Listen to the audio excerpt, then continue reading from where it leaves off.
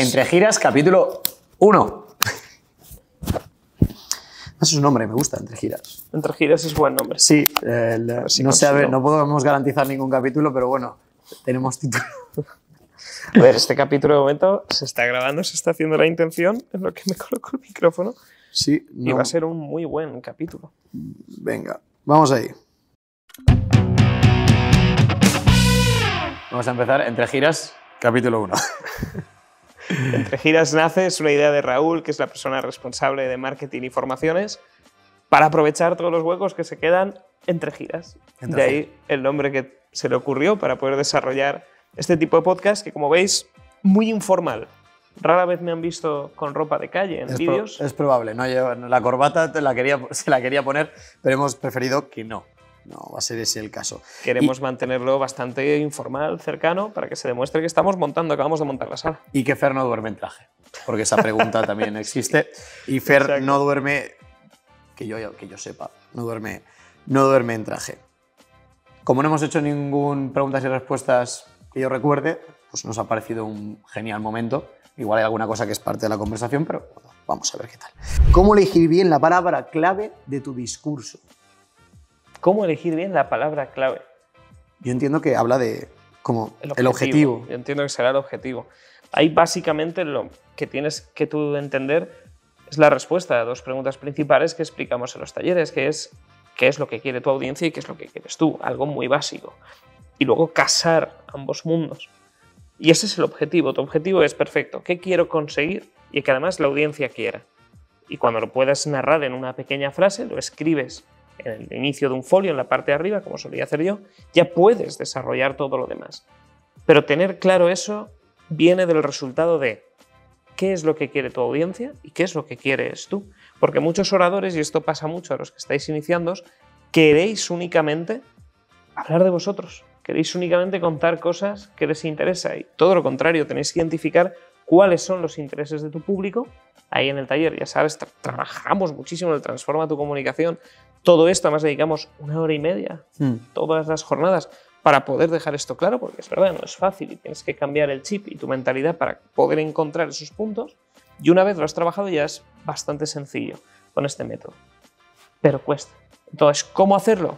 Por resumirlo, buscar los intereses de tu audiencia y buscar los tuyos, sobre todo en ese punto de unión que se forman entre ambos. Sí, esto es un poco como la pregunta esta que, bueno, sobre todo la gente que hemos estado vinculados y estamos vinculados a escuelas de negocio, cuando presentas el, el- el proyecto que siempre suele asociarse en, en este tipo de en másters, en grados, y te hace la pregunta al profesor de turno de, vale, pero ¿por qué te van a comprar?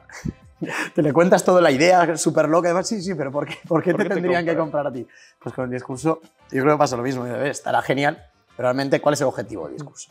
Quieres convencer, quieres emocionar, porque y luego pasa igual con el marketing, siempre lo hablamos, eh, vale, pero si no hay un objetivo, el marketing no sirve, eh, no es que no sirva para nada, pero carece de muchísima fuerza. Una estrategia sin un objetivo es, no, se queda muy, muy coja.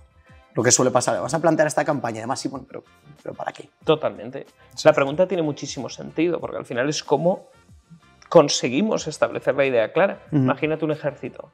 Sí. Vamos a la guerra. Pues bien. Hacia allá, hacia aquí. Correcto. Eso está muy bien planteado. Lo único que es complejo, básicamente, es qué es lo que quiere tu audiencia, qué es lo que quieres tú, y en esa unión está tu objetivo. Correcto. Mira, y al hilo tenemos otra. Y esta, esta, esta está muy bien. Bueno, es que hay dos que podrían estar hiladas y yo creo que la- las voy a leer las dos, porque yo creo que respondiendo a una alcanzamos las dos. La primera es, ¿cómo hago para que el público se integre más en una presentación? Que esta está muy bien porque además con tips mínimos igual ya se puede Sí. hacer algo. Y la siguiente que estaba por aquí era, en pocos días, Fer, en pocos días defiendo mi tesis de grado ante un jurado. ¿Algún consejo o tip? Creo que las dos casan. Casan y vamos a darle respuesta individualmente y algunos tips conjuntos. Lo primero que hay que ver es que tú cuando quieras mantener la conexión con tu audiencia tienes que preguntarles. ¿Por qué? Porque no hay nada que le guste más a una persona que le preguntes. Pero encima hay una combinación mejor, que es que le llames por su nombre y le preguntes. Cuando tú haces esto y le das pie a que participe y a que se sienta dentro de la conversación, y si encima es en público, no, la persona va a estar contentísima. De cara a un tribunal, lo más importante es entender cómo te van a evaluar, qué se permite, porque a veces decimos, no, Te pregunto a ti, o te pregunto a ti, no, a ti. No es una conferencia, no hay que olvidar que al final exponer ante un tribunal es un examen, es otra vía de examen oral en este caso, donde van a estar evaluándote una serie de requisitos y capacidades de tu comunicación respecto a un tema que has preparado. Entonces, tienes que tener en cuenta que hay habilidades que te sirven y también tienes que tener en cuenta que hay cosas que no. Entonces, lo de la pregunta te puede funcionar, sí como recurso al inicio, como recurso más retórico, una pregunta que no necesita respuesta, donde ¿y qué habríais hecho vosotros si os hubierais encontrado en esta investigación? Esa fue la pregunta que yo me hice. Mm. Por tanto, desarrollé esto, esto. De algún modo ayudas a tomar un proceso de pensamiento con las preguntas a la audiencia, que en este caso son personas de un tribunal, pero eso está mucho más encorsetado. Lo importante es entender cómo te van a evaluar, qué licencias te permiten tomar y, ¿Y no cruzar esa línea. Porque a veces se enfadan incluso, Sí, sí. dependiendo del tribunal. Y, y faltaría una, yo creo, y sobre todo quiénes. Conocer, conocer a la audiencia, Sí. conocer el tribunal. De hecho, es una cosa que, que nos pasa cuando el equipo de, que trabaja, bueno, el otro equipo de, form- de formadores que tenemos, que trabajan con las clases particulares, en uno de los, de los, de los paquetes que tenemos de, de formación, que está bastante enfocado a este tipo de, de situaciones, eh, defensas de TFG, doctorados, tesinas, etc.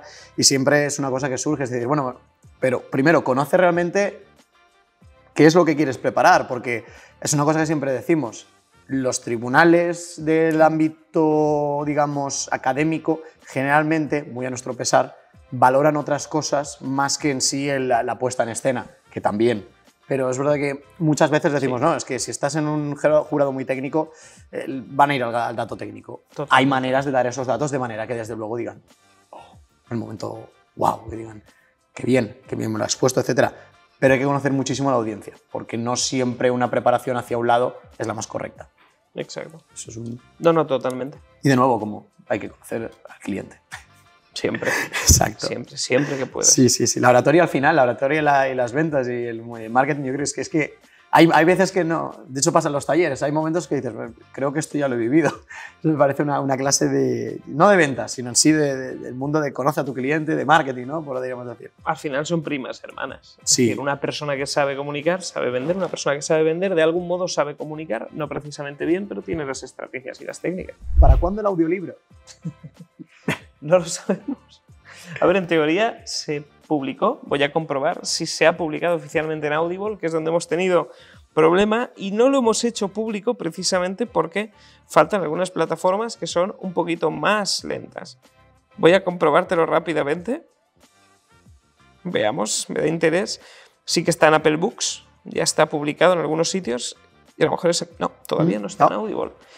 En fin, Existe. La respuesta es sí hay. sí, Sí, sí hay. en alguna plataforma la pueden encontrar, sí. es decir, está ahí. Buscas Fer Miralles audiolibro y navegas. Primera página de Google recomendado. Ya a partir de la segunda no sabemos qué puede salir. Pues, eh, algún enlace tiene que aparecer. Sí. Eso No, se- Es curioso. Sí que además lo hablaré con la editorial. ¿Qué hacer cuando alguien te dinamita una presentación? Coma, te interrumpe. Ahí sobre todo es tener en cuenta y medir bien qué es lo que está buscando esta persona cuando te dinamita y te interrumpe. O sea, ¿cuál es el objetivo detrás? Puede ser, quiero convertirme en el prota de la sala.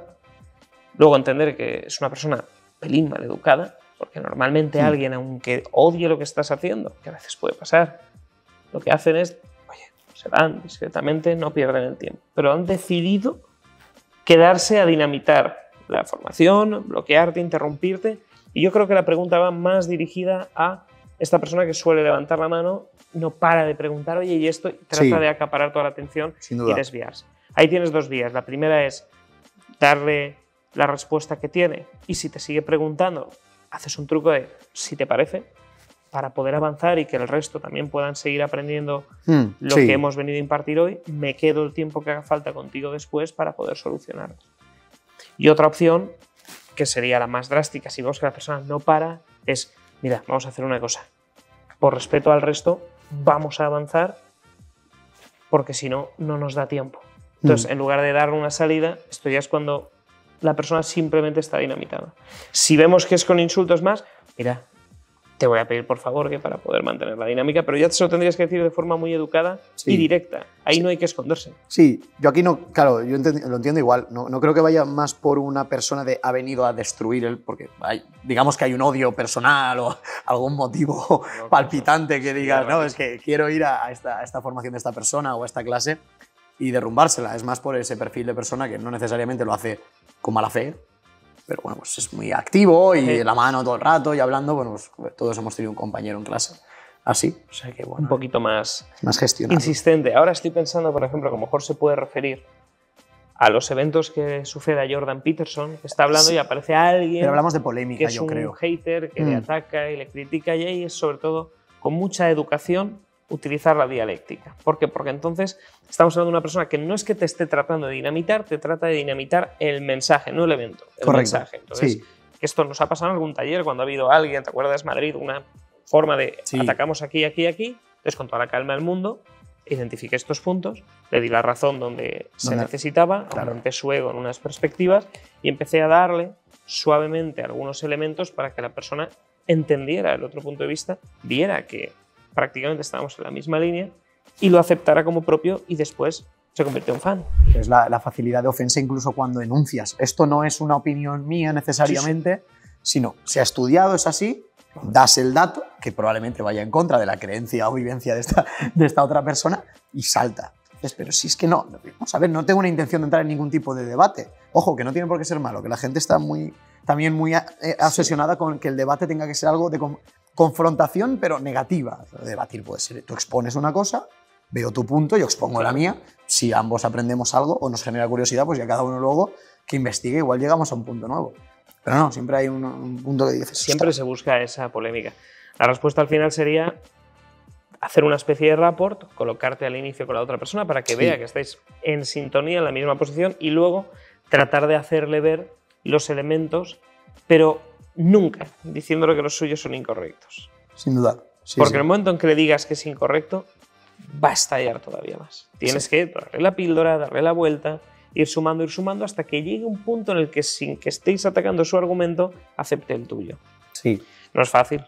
No, no, sin duda. y te requiere como el acelerador y el embrague, estar ahí continuamente jugando. No hay una situación que más descoloque al que busca el, conflicto o el enfo y va con enfado y con, necesidad, aparentemente, de, que haya, de que haya una de que haya confrontación, sino que ofrecer al que está enfadado un café, ¿no? Como el, sé que esta persona viene enfadada y cuando llega y se sienta frente a ti, no demuestras ese enfado ni, ni, preparado para ningún tipo de confrontación negativa, sino, ¿quieres un café?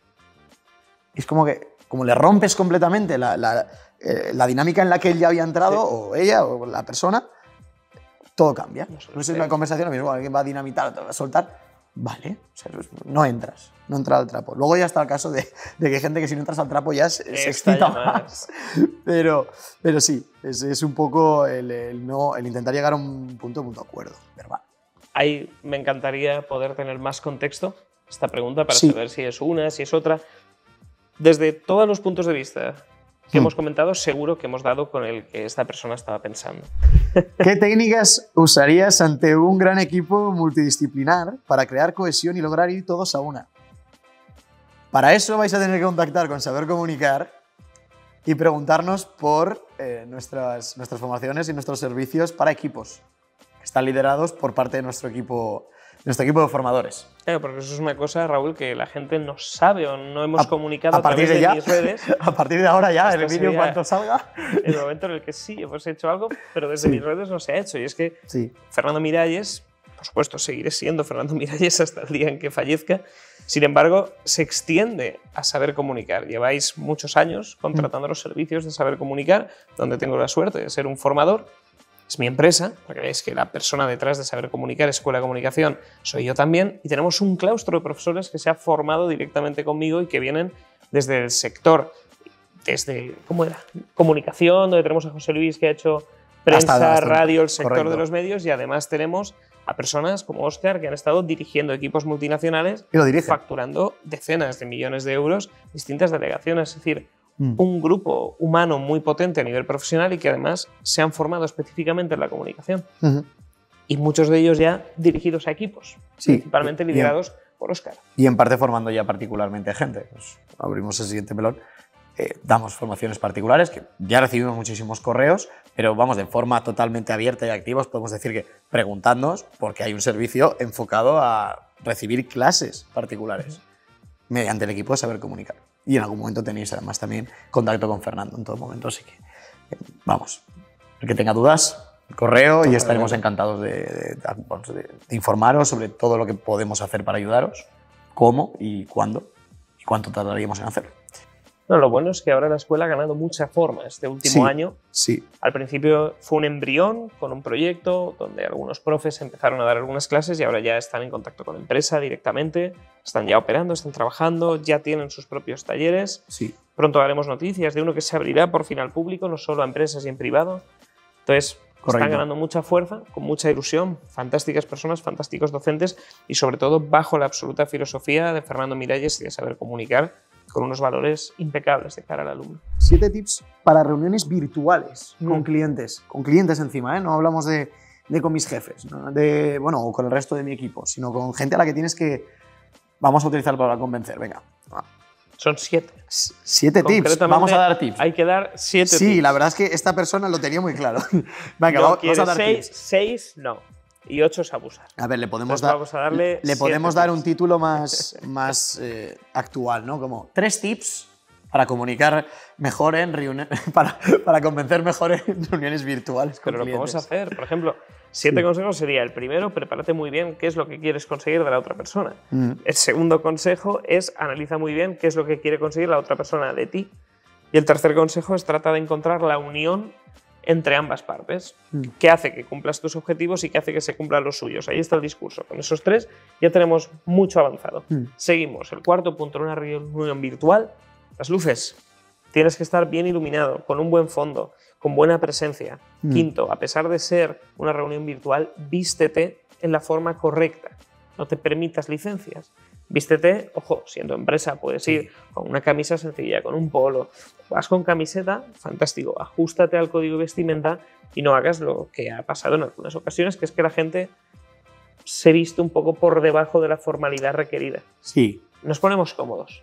Mm. Luego, sexto, no des por hecho que el audio va a funcionar. Y séptimo, estate preparado para cualquier tipo de imprevisto que pueda suceder. Eso iba a decir, arranca, o sea, haz, la- haz pruebas si puedes media hora antes, porque con el mundo de, de las llamadas virtuales y todo lo que tiene que ver con tecnología, Murphy no falla, nunca falla, pero con eso menos. Si algo Sí. se te tiene que escacharrar, tiene que dejar de funcionar una cámara, un foco, eh, pues pasará. A nosotros nos ha pasado, incluso sí, aquí, sí. cuando metes tecnología por medio. Recuerdo un taller que hice online, se fue la luz, que nunca se va, ¿Qué haces? se fue la luz. No puedes hacer nada, me comuniqué por correo, se ha ido la luz, a los 15 minutos volvió por suerte, continuamos. Y aquí nos ha pasado estar grabando la formación en esta misma sala hace unos cuantos meses Sí. y justamente salen los alumnos, los movimientos, los discursos que voy haciendo. ¿Qué pasa? Que hay, por lo que sea, una toma que tras una reforma que hicieron está un poquito suelta. Ahora ya la han arreglado, pero en aquella época ¡pop! se iba la luz y la cámara paraba la grabación, pero al parar la grabación corrompía todo el vídeo. Mm. Entonces también hay que tener en cuenta, ahora vamos preparados, no colocamos la cámara aquí, si no tiene la batería, de modo que si se corta hay una forma de tener seguridad. Hay que estar preparados siempre. Hay muchísima distracción cuando es una. Y si encima un cliente. Sí. Está claro que él quiere escuchar, el cliente va a querer escuchar lo que le tengas que decir si no, no te hubiera llamado. No obstante, si normalmente captar la atención es complicado porque ya con el móvil ya hay una pantalla en la que hay mil estímulos, pantalla de móvil, pantalla de ordenador, que lo más normal, y todos lo sabemos, eh, estás hablándole y el que está enfrente tuyo te está escuchando, pero a la vez igual tiene el WhatsApp abierto en la pantalla, Sí. el Teams a la vez con el Teams de la empresa. Por esta necesidad ya que tenemos latente de estar con- conectados sí o sí. Digo, Mucho me- despiste. Antes el joven veía YouTube, nosotros cuando en los YouTube Nosotros hemos llegado a ver YouTube. iniciales. Sí. Era otro, era otro YouTube. gritabas. Hoy la gente busca también una voz más tranquila, como si estuviera Mm. esto, Sí. este formato. No Sí, estar pegando gritos, esto. Sí, de hecho, a mí me pasa que, como a todos, todo lo que huele a publicitario o, o que puede ser o que puede estar enfocado en una venta, sí que hay un swipe rápido, Sí. pero el formato de conversación, por algo que desconozco, igual es por lo que indicas de la voz, que es plano, que está bien grabado, sí que me puedo ver el vídeo entero. O sea, yo me puedo poner una entrevista, un podcast de fondo entero y no hay swipe ni hay nada de ningún estilo. Ahora bien, como, como sea un vídeo, y mira que dices, ostras, con la producción que hay detrás de un vídeo, pero Cuando no. hay anuncios. Al final la gente también se ha acostumbrado a que momento en el que ve algo muy producido, lo Ya paso dices- porque es un anuncio. Ya. Y el momento en el que veo algo grabado muy amateur, Mm. me quedo porque no es un anuncio. Y muchas veces es todo lo contrario.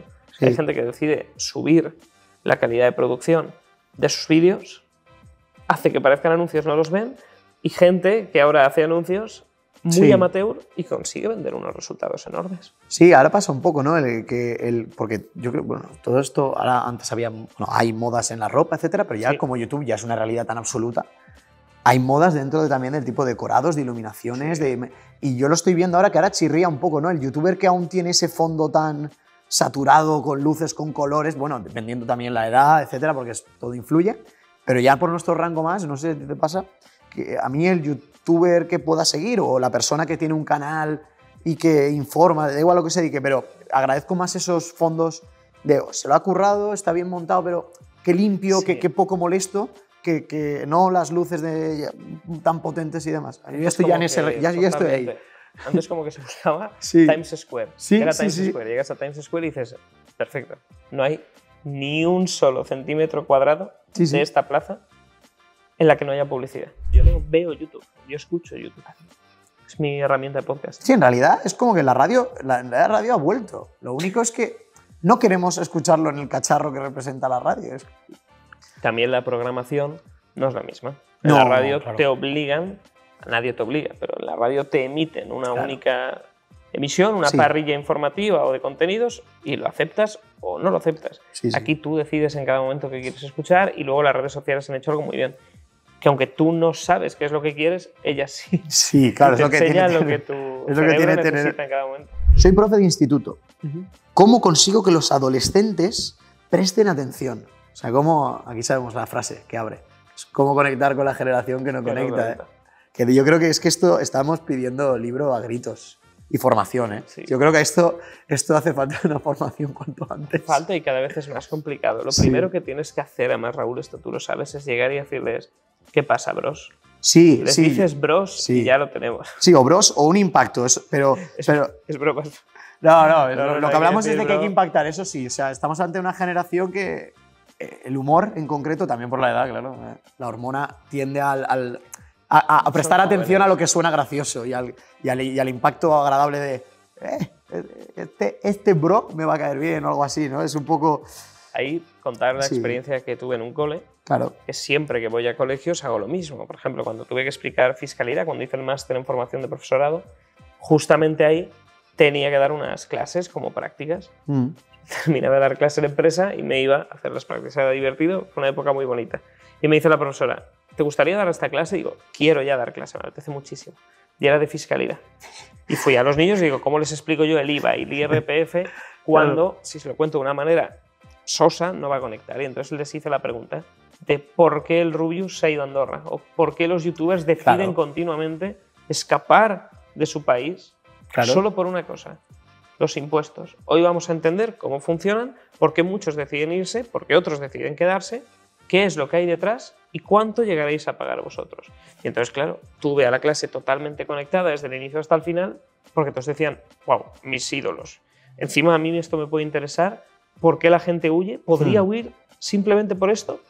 Y entonces estuvieron muy conectados y al menos esa clase entendió algunos impuestos. Sí, esto es, esto es una cosa que además lo tuyo lo comentamos mucho también porque desde Saber Comunicar también colaboramos con algún, bueno, colaboramos, somos profes en, en, en, algún, en algún colegio y además recientemente como arranca ahora el curso lo estábamos comentando, es decir, bueno, tengo que, hemos que dar una, una serie de clases enfocadas a marketing y comunicación y yo siempre, en este caso lo, lo comentaba contigo, era el, yo es que solo veo viable para que lo entiendan, decirles, tenéis que montar una empresa y todo lo inherente, bueno, a niveles asumibles para, para esa edad, etcétera. Y es que solo veo, solo veo de esa manera, decir, no, y ahora vale, tienes que saber que es un IVA, que, que es una marca, que por qué vais a tener que vender esto, por qué os tienen que comprar, pero por lo menos que se pregunten. Son preguntas que, que se van a... que- vale, Totalmente. porque al fin y al cabo yo siempre es algo que echan falta en las clases de economía. eh, sí, economía. Economía está muy bien, pero de economía real y aplicable la clase no es No. en, en- en bachiller. Digo, se llama economía cuando lo que te enseñan es una serie, está muy enfocado sobre todo, hay una parte de empresa que sí que, bueno, pues estado- estados eh, contables, etcétera, que está muy bien, pero es sobre la nada. Es decir, bueno, un caso que tú te lees que no conecta, palabra muy importante, no conecta contigo, no es tu empresa, no es nuestra afinidad de nada, es un papel que te, lo de siempre, Pepito tiene tres manzanas, pues este caso lo, lo escalamos a, ya, pues, a una clase más de finanzas. Te quedas igual, si mientras tanto se te dicen, busca algo que te guste, intenta cómo monetizarlo y a partir de ahí intenta que sea legal, que todo esté bien, vale, construyes alrededor y seguro que es que... Sí. Ey, vas- y llegan los IVAs, venga, y ahora llega, llega Hacienda. Se intenta, lo he intentado. Cuando he sido profe de marketing digital en la Cámara de Comercio, Hmm. lo intenté. Sí. Y no siempre encajó. Porque ahí ves personas que sí que dan el 100% por ese proyecto y luego hay personas que van a la ley del mínimo esfuerzo. Sin Entonces, duda, sí. el problema está ahí también. Entonces, hay gente que de verdad lo hace muy bien y trataban, remaban, luchaban, construían. Wow, para eso es la formación es impresionante. Sí. Porque lo han llevado a un punto de conexión total. Y la gente dice, "Bah". Ah, entonces yo ahora mismo la perspectiva que tengo es, la educación está hecha para que con la ley del mínimo esfuerzo, tanto docente como de alumno, se acuerden unos mínimos de conocimiento y al siguiente, Sí. sin esa vocación real. Sí, no, aparte, bueno, Es ahora, difícil, no es fácil. y con tema de redes sociales, yo- vamos, ahora mismo la situación real de, de profesorados ya secundaria, que entre las hormonas, móviles, YouTube, etcétera, tiene que ser una jungla. O sea, no, no, no, no me hago una idea de cuánta- también, por ejemplo, que el profe se ha quedado sin autoridad. Claro, bueno. Te- Tampoco sí. te digo que el profe era bueno que fuera con la regla de madera, No, no, no, claro. que parecía eso la lucha libre. Llegabas a clase cuarto de primaria y decían, buenos días niños, prepárense que empieza la guerra. No, no me refiero a eso. Simplemente un mínimo de autoridad. Sí. Hoy los padres... Entonces, es complejo. Sí, Es complejo porque también el niño se crece y ¿cómo le pones barreras si nadie te apoya como docente? Mm. Complicado. Sí, bueno, No es fácil y no solo en educación. Teníamos un. Ayer nos contaba, bueno, antes de ayer nos contaba una persona que en las contrataciones se subían a la chepa en las entrevistas. Es verdad. Claro, eh, vale, todo viene al fin y al cabo de, de no sé si de casa, pero del colegio. El ejemplo, claro que sí que es extrapolable. Es decir, si a una persona que te tiene que enseñar, que supuestamente tiene más conocimientos que tú sobre varios temas de los que tienes que aprender, no le prestas atención, luego llegas a una entrevista y, y mandar, o sea, dominas eh, con lo sagrado que es, no sé, por lo menos para Lo mí. que nos contó esta persona era bastante fuerte. Es decir, es Sí, que pero llegas no es un a caso buscar trabajo Sí, y acabas protestando y criticando la propia entrevista. sí, sí. En fin, fue curioso. Casi te tengo que contratar yo a ti. Sí, pero mira, un poco paralelo y probablemente sí que haya cierta relación más allá del pues, contexto de- social y cómo se está gestionando todo. ¿Qué te inspiró a trabajar en esto? Tampoco tengo una inspiración total. Es decir, No, no, ah, bueno, claro, he sido yo, docente. sí, eh, yo entiendo la temática, entiendo que va más por, por, por qué oratoria, de, bueno, pues por, por qué hay empresas que triunfan, pues porque hacen algo que nadie más hace. Digo No, yo. no, pues ahora me has dejado reflexionando. ¿Por qué me inspiró a hacer esto? A mí, de algún modo, siempre me gusta enseñar. Nunca he tenido como una inspiración fuerte. Recuerdos, sí, mi abuelo, pasear con él de pequeños y decirme, tú serás profesor de farmacia. Dijo, vale. Sí. Me quedé con profesor, siempre me gusta enseñar. Cuando hacía algo y conseguía algo, quería compartirlo con el mundo. A la mínima que tuviera un mínimo conocimiento, lo compartía. Entonces, claro, en un punto donde me convierto en un experto total en un área, en una única área y la domino al 100%, a mí me encantaba compartir ese conocimiento. Hmm. Y aquí estamos. O sea, Sí, y aquí es estamos, una ilusión. sí. A mí me encanta la docencia. De hecho, Sí, imagínate, me jubilo. No puedo jubilarme. O sea, yo sé que al menos una hora a la semana Hago. daré de clase. Claro, Iré con mi maletín con 82 años o si me tiene que llevar un taxi o lo que sea, pero daré mi clase para quien me quiera escuchar todavía.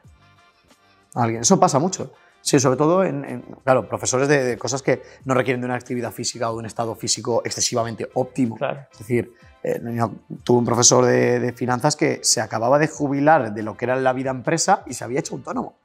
Con 60, bueno, tenía algo más, 72 años o así. Bueno, el- el- creo que ahora pueden llegar hasta 72, tenía por ahí el hombre. No, y decía, es que ahora me he hecho autónomo.